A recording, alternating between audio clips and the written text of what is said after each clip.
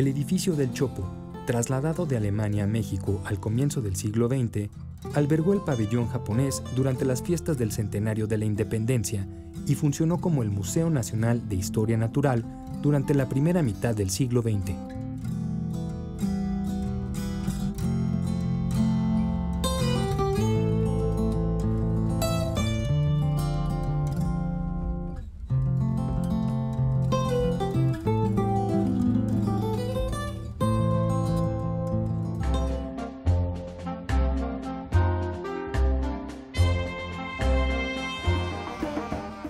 Con vocación innovadora desde su fundación, el Museo Universitario del Chopo ha sido un espacio para la difusión y promoción del arte en todas sus expresiones.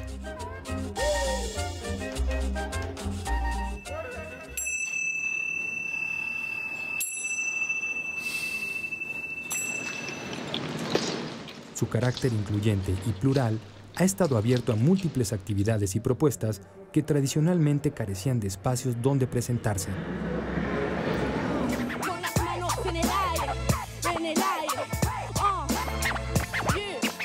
El performance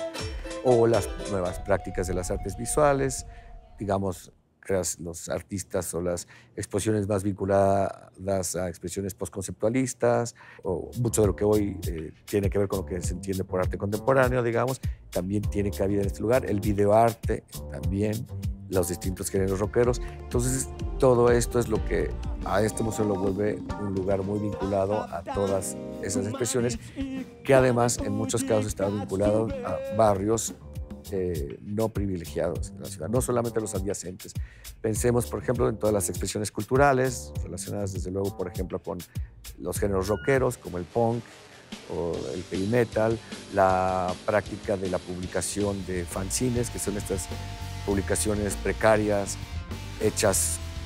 de manera autónoma o autopublicadas por fans de distintos géneros, eh, muy relacionada en México con el movimiento punk, que hoy en día, digamos, es también una práctica ya muy eh, de culto.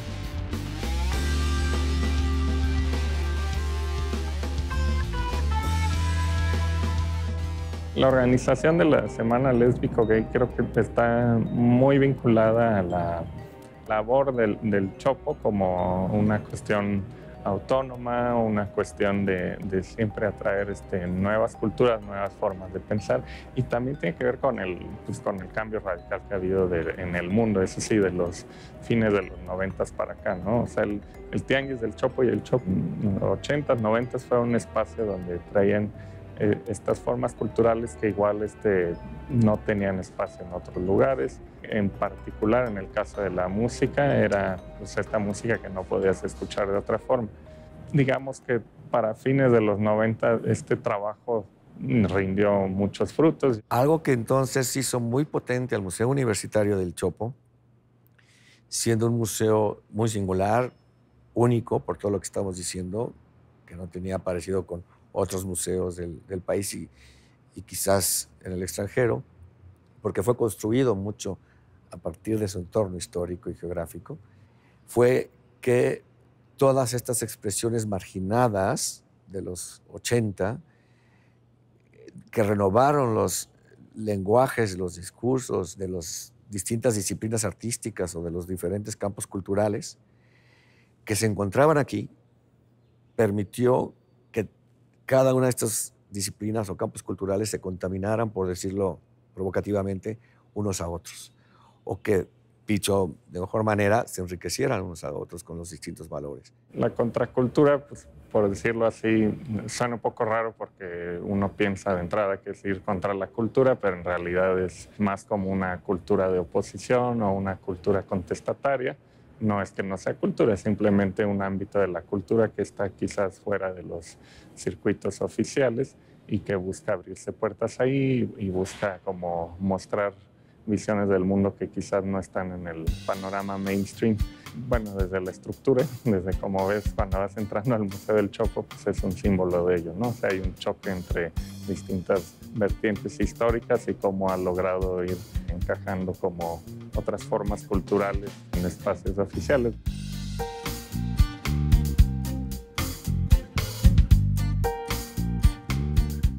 el edificio cumplió 100 años en diciembre del 2003 y tres años después, fiel a su historia camaleónica, se transformó nuevamente, en esta ocasión para adaptarse a las necesidades del arte contemporáneo. La intervención estuvo a cargo del arquitecto Enrique Norten, quien construyó una caja de cristal y acero en el interior de la estructura.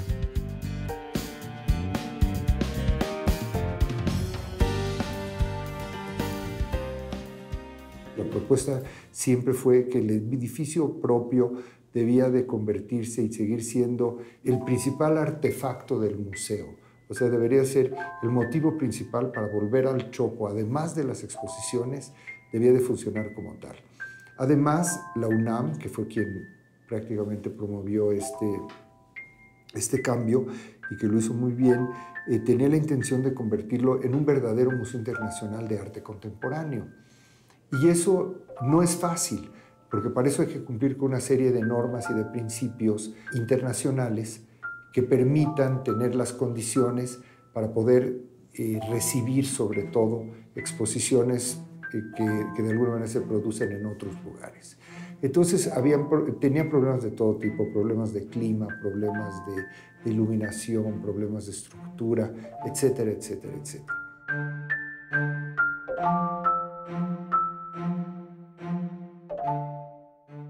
Yo entiendo las necesidades, yo entiendo las, los requerimientos para adecuación a un museo contemporáneo, hay muchos espacios que se requieren como talleres, como auditorio, muchas cosas. Pero yo creo que en este momento en que se decide, eh, no estoy en contra de, o sea, no estoy a favor de la conservación más ortodoxa. Está bien que el arquitecto, que los arquitectos contemporáneos dialogan con las estructuras, con el patrimonio este, histórico, pero yo creo que hay que tener mucha sensibilidad y tener mucha atención a preservar las cualidades propias, y en este caso únicas, de un edificio. Entonces quizás se podía haber pensado de ubicar esos espacios que sí son necesarios eh, o en otra locación o no sé, eh, bajo tierra, inventarse algo, una solución como más creativa, más, eh, sí, más difícil, seguramente mucho más difícil, pero que dejara este vacío intacto. Yo eh, opino que se hubiera podido hacer un esfuerzo mayor para encontrar la solución que dejara ese espacio, dejar el valor realmente espacial, único que tiene este edificio.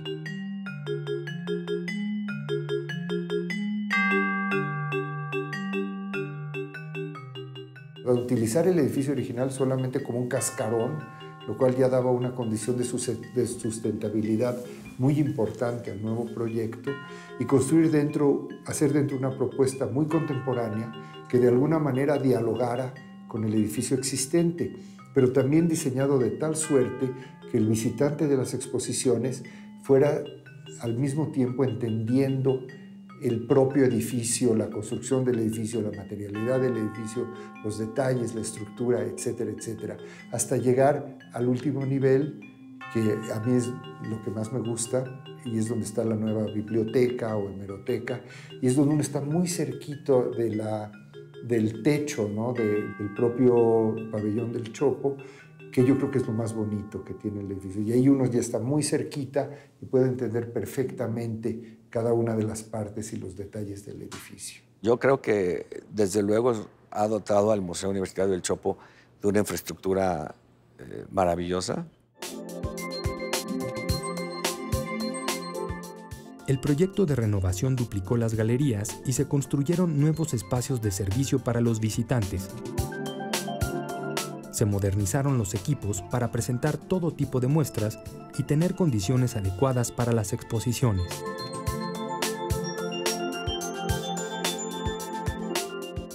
El Centro de Información ha permitido tener mejores condiciones para la documentación y archivos del museo.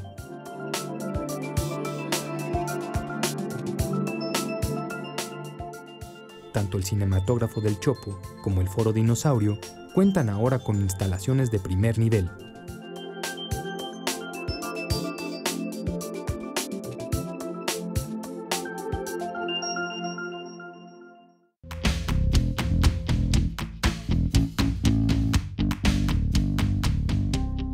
Los últimos años, el Museo Universitario del Chopo ha reafirmado su vocación como espacio incluyente, innovador y propositivo.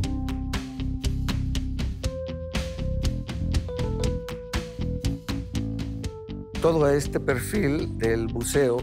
que fue, digamos, en los hechos de creación histórica en este lugar, es lo que nosotros, a partir del 2012, eh, que llego yo a la dirección del museo y mi equipo, a partir de esta investigación que realizamos cuando llegamos, pretendemos nosotros reforzar, visibilizar y dinamizar a partir de un plan estratégico, digámoslo así, que justamente presenta una oferta cultural o una programación de propuestas emergentes en los distintos ámbitos. Hay que entonces sintetizar diciendo que es un museo que tiene una programación que abarca las artes escénicas, las artes visuales, el cine, la literatura, y hoy en día además un centro de información, y que siempre ha propuesto o programado propuestas emergentes, novedosas, renovadoras en esas áreas, la posibilidad de tener una programación de una escultura de Thomas Glassford que dialoga, digamos, con una reflexión científica, que también en ese sentido hace un guiño histórico al antecedente de este museo como Museo de Historia Natural.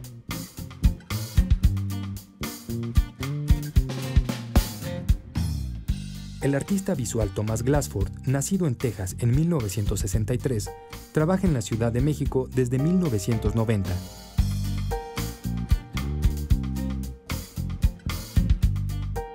Conozco el espacio, conozco cómo se puede comer obra, digo, hasta piezas enormes, pero adentro de este espacio se vuelven tan pequeños, en esta nave tan grande, industrial, del principio del siglo pasado.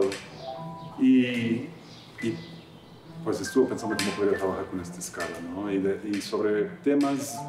yo siempre estoy brincando entre varios materiales, varias diferentes este, ideas.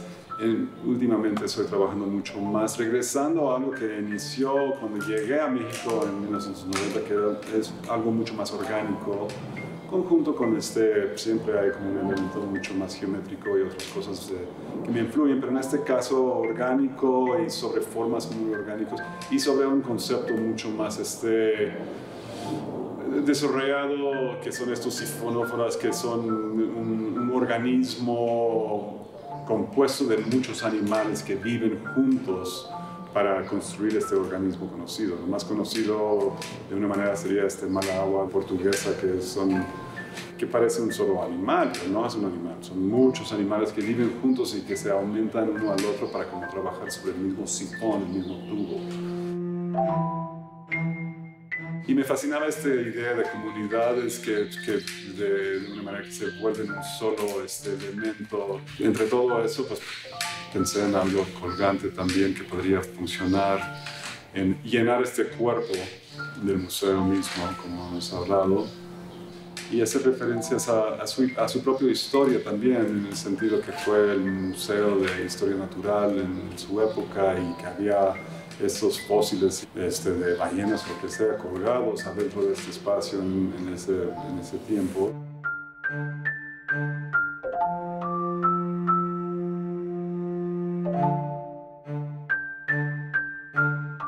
Otra cosa importante que hay que decir es que si bien en el 2002 existía el área de artes escénicas compuesta por música, teatro, danza y performance, nosotros quisimos cambiar esa realidad segmentada, que digamos en los 80 no, no eran unas realidades segmentan, segmentadas, porque las propuestas circulaban de, de, un campo cultural a otro, y entonces nosotros estamos hablando ya más bien de artes vivas, no de artes escénicas con miras a que las propuestas que programemos no necesariamente tengamos que ubicarlas en eso, en una disciplina ya canónica o preestablecida o preconcebida, sino que no importa si no sabemos si es teatro o danza, pero que pueda tener lugar. ¿no? Pero también ha abierto la puerta, como tú dices, a que entren las propuestas que se generan desde afuera. De manera permanente, el Museo Universitario del Chopo trabaja en distintos proyectos de interacción con los habitantes de la colonia Santa María la Ribera y de los barrios aledaños.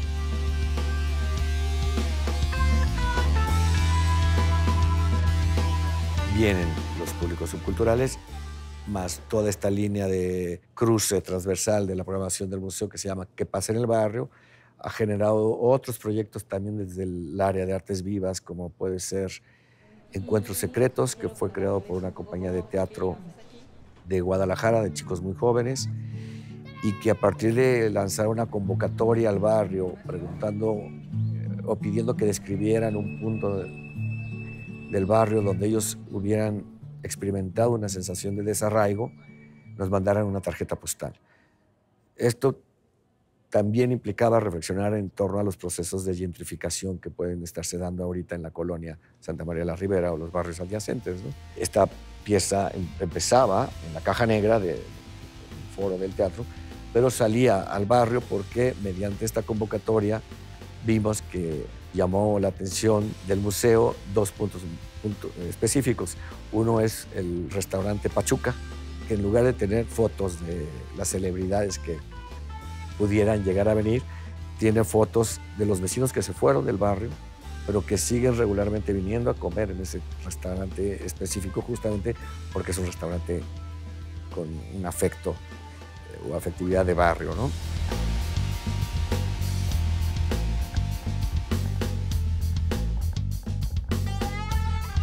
En colaboración con el Museo Universitario del Chopo, la Comuna, Revolución o Futuro pregunta a los vecinos de Santa María la Ribera qué es lo chido para la colonia.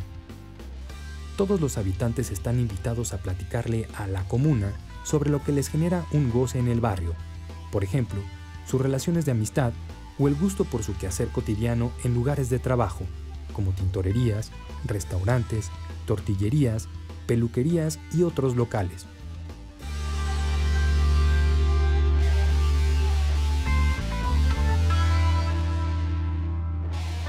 O de repente relaciones un poco más simbólicas como puede ser la exposición de Mauro Giaconi, que es este artista que dibujó con grafito en uno de los muros de la galería sur de este museo, en una propuesta de dibujo expandido, porque ese mismo grafito es el que luego pinta o, o, o o, o tizna, llamémosle así, unas bolsas que parecen piedras y que forman una montaña.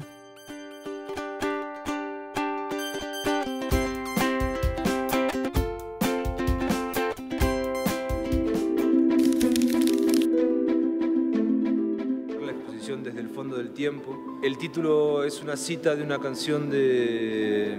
Alfredo Citarrosa, un cantautor uruguayo. La canción se llama Adagio en mi país. La instalación está compuesta por tres piezas eh, que interactúan en el espacio. Una es esta que está aquí en el piso, mm, que se llama Alma. Es una instalación hecha con aproximadamente 2.300 bolsas recicladas eh, y teñidas manualmente con polvo de grafito. Hay otra pieza que es la que está a mis espaldas, que es un mural, un dibujo mural efímero, eh, realizado con grafito, con goma de borrar, con productos de limpieza. Y la tercera pieza que, que, concluye la exposición está dentro del depósito que está también aquí a mis espaldas. Y es un video, una proyección, el video se llama Línea Transversal,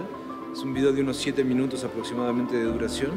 Y el video muestra el registro de una acción que es, eh, la acción es muy simple, es atravesar una pared de concreto utilizando lápices eh, de grafito como si fueran cinceles, martillándolos hasta que se atraviesa el mundo.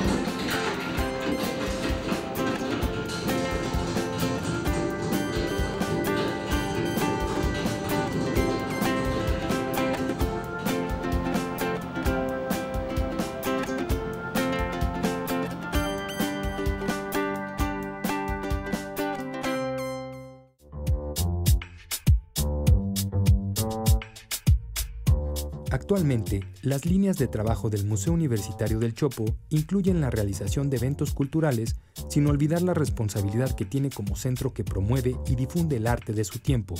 la cultura universitaria y las expresiones alternativas de los jóvenes.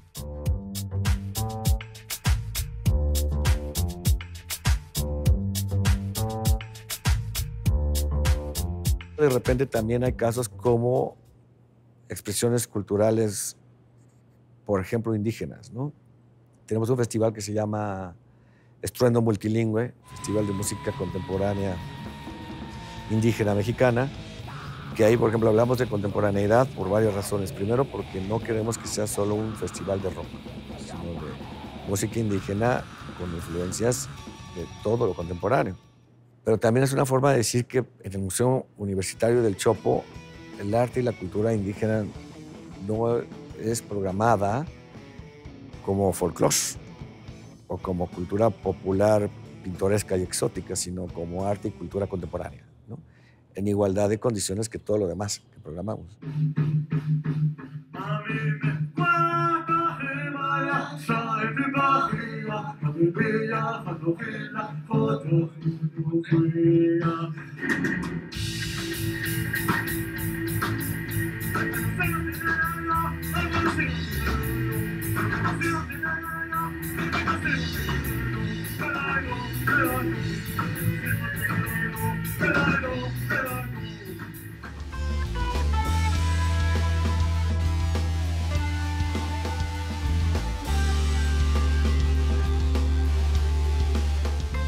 Aunque ya no forma parte del barrio, también mantiene un vínculo con el Tianguis Cultural del Chopo a través de la Asamblea de Arte y Cultura, que programa en el museo distintas actividades, sobre todo con grupos de rock que fueron importantes para la historia del Tianguis y del museo.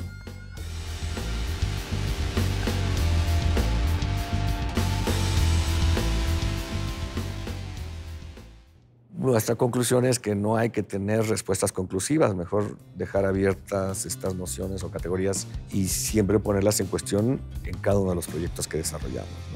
Sí creo que los paradigmas son muy distintos, pero siguen presentando retos, digamos, para poder responder o tomar decisiones en cuanto a qué programas o con qué comunidades o expresiones culturales te vinculas en un momento dado. El Museo Universitario del Chopo todavía puede funcionar como